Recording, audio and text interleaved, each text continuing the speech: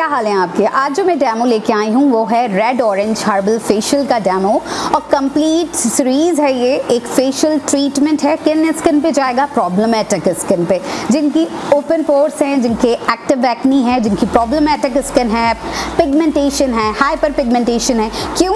क्योंकि इसके face wash के अंदर है glycolic acid and lactic acid जो आपकी रिड्यूस करेगा, ना सिर्फ़ पिगमेंटेशन को, बल्कि एक्नी स्कार्स को भी रिड्यूस करेगा। इसके अंदर है मिस्ट जो कि आपके टिश्यूज एंड सेल्स को हैप्पी करेगा फेशियल स्किन जो हमारी है, उसमें जो रीजुविनेटिंग होती है सेल्स की, उसके लिए ये बेहतरीन है। आ गया क्लेंजिंग मिल्क फिर जो सबसे अच्छा है मसाज क्लेंजिंग जेल जो कि एक्टिव स्किन के लिए, यानी एक्टिव प्रॉब्लम्स के लिए प्रॉब्लमैटिक स्किन के लिए आउट क्लास है। और फिर last but not the least इसका हर्बल मास्क है। और जो सबसे अच्छी चीज़ जो थर्ड स्टेप पे आप करोगे, ये है हर्बल एक्सफोलिएटर जिसमें डिफरेंट किस्म की नायाब हर्ब्स हैं, जो आपकी पिगमेंटेशन एंड एक्टिव एक्नी को रिड्यूस करेंगे। तो मैंने वीडियो बनाई है और डेमो बनाया है, पूरा स्टेप बाय स्टेप गाइस एक स्टेप को भी मिस करोगे तो कुछ समझ नहीं आएगा। तो पूरी वीडियो तहमुल के साथ देखें और फिर एंजॉय करें।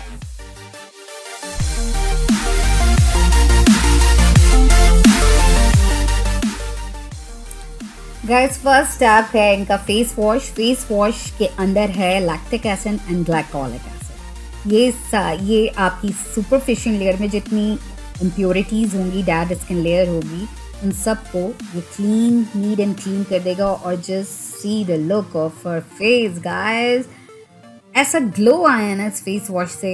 अमेजिंग इसके बाद आप मिस्ट करोगे। मिस्ट के दो से तीन पंप आपने अच्छे से करना है कि, कोई भी फेस का ऐसा हिस्सा ना रहे जिसमें ये गया ना हो। और मैंने इसका भी मसाज किया है पाँच मिनट।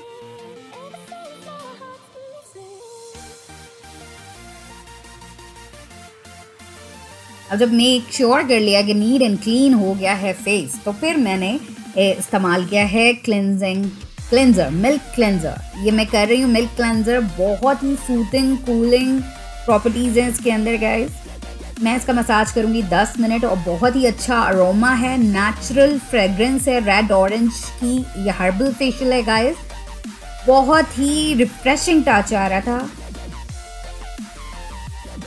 आप सिर्फ़ इनके, मैं फेस वाइप करूँगी, इनके फेस पे आप ग्लो देखना. अभी सिर्फ़ और सिर्फ़ दो स्टेप्स इस ट्रीटमेंट के हुए हैं। ये है स्पेशल एक्सफोलिएटर्स में स्पेशल किस्म की हर्ब्स हैं, जो आपकी स्किन को कॉलेजन भी प्रोवाइड करेंगी स्किन को टाइटन भी करेंगी ब्राइटन भी करेगी। ब्राइटन आप इसलिए करेंगी कि जितना भी ब्लैक हेड वाइट हेड्स है, इससे रिमूव हो जाता है। आप इसे रोज़ वाटर से भी मिला सकते हो और मिस्ट के साथ भी इसको पैक बना सकते हो। फेस पैक के तौर पर ये बनेगा। और मैं लगा रही हूँ दस मिनट के लिए मैं इसको फेस पे छोड़ दूँगी। ऐसी कंसिस्टेंसी पे आपने अप्लाई करना है, ना ज़्यादा रनी हो, ना ज़्यादा थिक ताकि ये अंदर तक स्किन के अंदर तक पेनेट्रेट हो जाए। और सेमी वेट कंडीशन में ही मैं जेंटल हैंड से इसका, इस मसाज करूँगी, देखें। ये ऐसा है कि ना ज़्यादा स्किन पे चुभेगा, लेकिन ये इसमें ऐसी क्वालिटी है कि जितना ब्लैक हेड वाइट हेड्स अंदर अंदर मीलिया कीले होती हैं ये मसल्स को इतना रिलैक्स करता है कि मसल्स छोड़ देता है, ऊपर की तरफ़ पुश कर देता है, जितने ब्लैक हेड वाइट हेड्स होते हैं।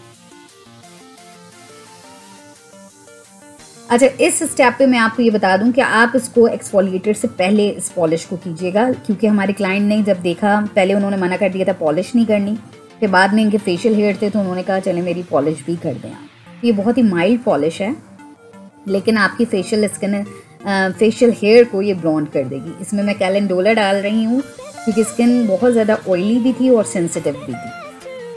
सूथिंग लोशन की लाइट सी लेयर मैं इनके फेस पे लगाऊँगी, ताकि सेफ़ एंड रहे टी जोन एरिया पे लगा रही हूँ। और ये देखिएगा कि मैं पॉलिश पहले हेयर ही फेशियल हेयर जहाँ है, वहाँ लगाऊँगी और बाद में टी जोन एरिया पे लगाऊँगी। और मैंने सूथिंग लोशन की लाइट लेयर इनके टी जोन एरिया पे पहले ही लगा दी थी as a protector mild polish के बावजूद, क्योंकि जिनकी स्किन का कुछ पता नहीं चलता ऑयली भी थी सेंसिटिव भी थी, और ये मैं पैड्स रख रही हूँ ताकि इनकी आइज़ पे भी कूलिंग ज़रा अच्छी सेंसेशन रहे, ज़रा कूलिंग रिलैक्स रहें ये। बहुत अच्छा ये रोज़ वाटर है गाइस सम्स का। अच्छा पॉलिश के बाद आपने पॉलिश जब भी रिमूव करें ना, आपने हल्का सा माइल्ड हेल्थ से पूरे फेस का हल्का सा मसाज करना है ताकि तो कहीं कोई स्टेन हो, कहीं कोई फेशियल हेयर रह जाए तो वो अच्छे से रिमूव हो जाए। क्योंकि ये माइल्ड पॉलिश है तो मैं इधर ये स्टेप कर सकती हूँ। आप ग्लो देखेंगे फेस पे और जितने फेशियल हेयर्स थे, सब ब्लॉन्ड हो चुके हैं। अब मैं ले रही हूँ क्लेंजिंग जल न्यूट्रलाइजिंग क्लेंजिंग जल ये बहुत ही ज़बरदस्त स्टेप है इस फेशियल का। इसका 10 मिनट का मसाज करूँगी। आपने नॉर्मली देखा होगा कि मसाज क्रीम होगी। यहाँ पे हम न्यूट्रलाइजिंग जेल मसाज क्रीम के तौर पर यूज़ कर रहे हैं। क्योंकि ऑयली स्किन के लिए सेंसिटिव स्किन के लिए जेल बेस्ड जो क्रीम्स होती हैं, वो ज़्यादा अच्छा काम करती हैं। और नॉन क्रोमैटोजेनिक है फ्रेगरेंस फ्री है आर्टिफिशियल कलर फ्री है। ये टूल है कपिंग फेशियल जो मैं अवर डायरेक्शन पे इसका मसाज दूँगी। इसको करने से पहले आपको इसके लिए ट्रेन होना पड़ता है गाइस ताकि आपको प्रेशर पॉइंट्स का अच्छे से अंदाज़ा हो।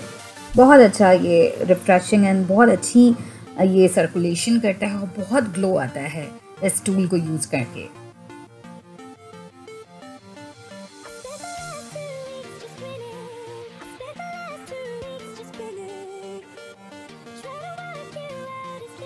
पाँच मिनट का मैं मसाज कर रही हूँ उस टूल से। और मैं स्टीम दे रही हूँ ताकि बहुत अच्छे से इनकी स्किन अच्छे तरीके से नीट एंड क्लीन हो जाए, क्योंकि मसा, ये जो स्टीम का जो स्टेप होता है ना फेशियल में गाइस ये बहुत अच्छा काम करता है। एक तो हाइड्रेशन रहती है आपकी स्किन पे, दूसरा जितने अंदर ओपन पोर्ट्स के अंदर जितनी गंदगी होती है, वो सब निकल जाती है। बाकी जो सारा काम हो चुका था ब्लैक हेड जो अंदर अंदर थे, वो स्टीम के बाद निकल गए आप फेस पे ग्लो देखें। ये लास्ट स्टेप है। इससे पहले मैं मिस्ट का दोबारा स्प्रे कर रही हूँ, ताकि ग्लो रहे और मिस्ट आउट क्लासेस से दोपहर सुबह दोपहर शाम भी आप नॉर्मली रूटीन में कर सकते हो। क्या काम करेगा? या आपके सेल्स को हैप्पी करेगा रिफ्रेशिंग टच देगा आप ये देखें मास्क की कंसिस्टेंसी देखें। इसमें मैंने कुछ भी डाला नहीं है। बहुत ही अच्छा रोमा ऑरेंज पील का फ्रेश आ रहा है। दस मिनट में मास्क को रखूँगी। फेस पे आईब्रोज पे भी लगा दिया डजेंट मैटर डार्क सर्कल जितने आईज आईलेट पे होते हैं, वो भी रिमूव हो जाते हैं. और अब मैं रिमूव कर रही हूँ. और देखें इनका शानदार फाइनल रिज़ल्ट